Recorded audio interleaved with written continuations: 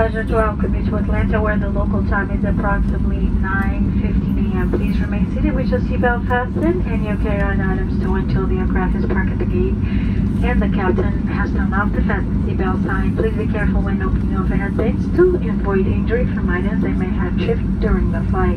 Feel free to use your mobile devices before leaving the aircraft. Take a quick look around your seat and make sure you have everything you brought on board.